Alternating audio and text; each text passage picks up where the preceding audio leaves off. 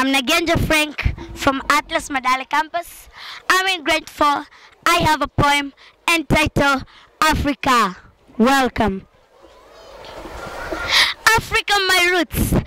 Africa, my pride. Oh, Africa, my motherlander.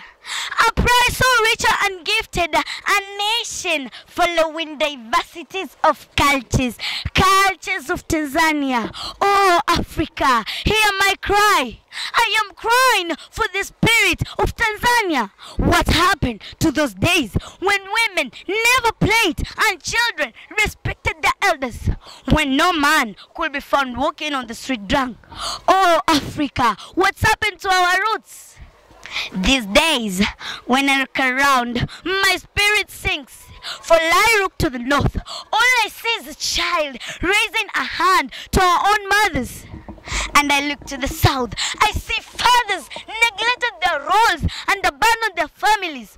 Oh, Africa, hear my cry. And I try running to the east when the sun rises on Kosian, Uma, Ubaba, Babatsinega Mboshe. Now where do I run to? Oh, Africa, hear my cry. Who can carry our nation and restore our humanity? For our generation is perishing, our future is vanishing, and our hope is diminishing. Oh, Africa, hear my cry.